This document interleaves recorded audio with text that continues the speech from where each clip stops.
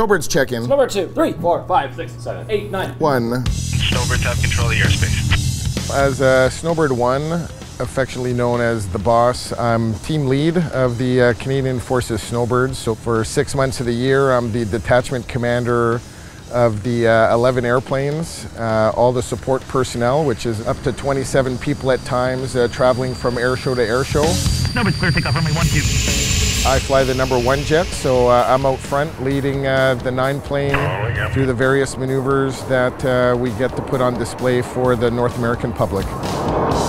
Because the Tutor has less thrust than a lot of the jets seen on the demo circuit, it allows us to fly a very different show. Our show is more graceful, and a lot of our formation changes happen right in front of the crowd, whereas a lot of the other demo teams are off stage left or right when they have to do those repositions. We're very proud of the fact, and we actually try to highlight a lot of our station changes as part of our show. We don't feel that we're thrust limited because the jet is relatively light and we can do a lot of things with skill uh, and not rely on that power. I like manipulating uh, flight controls and, and having to try to fly an airplane as accurately as I can. Like there is a perfect show, there is a perfect profile to fly in, and you never quite achieve it, so it's always interesting because you're always striving to achieve that perfect profile. Snowbirds. Now, essence split. And then now, P and pause. The comms are more for the uh, the wingman to, to preemptively uh, apply control inputs and power settings to, to fly accurate formations. Go ahead, go. Go, go, now.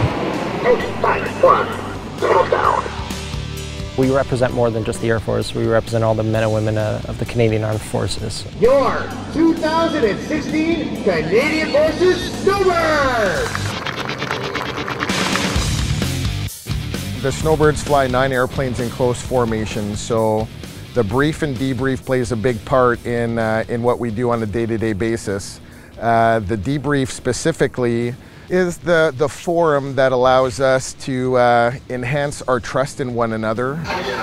We do make errors, so the debrief is the time and place where you will uh, admit your errors. At points there is over four feet of wing overlap and you're not even looking at that guy. So he's got to remind you in his debrief so that we all are 100% safe and 100% professional. We're extremely proud of our job. We represent all Canadians.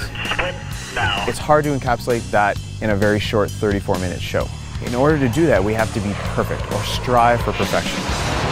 With the Snowbirds, obviously, as team lead, as a Canadian ambassador, I get to represent the Canadian Armed Forces. I take great pride in that, and I get to do that while I'm involved in, in being a pilot.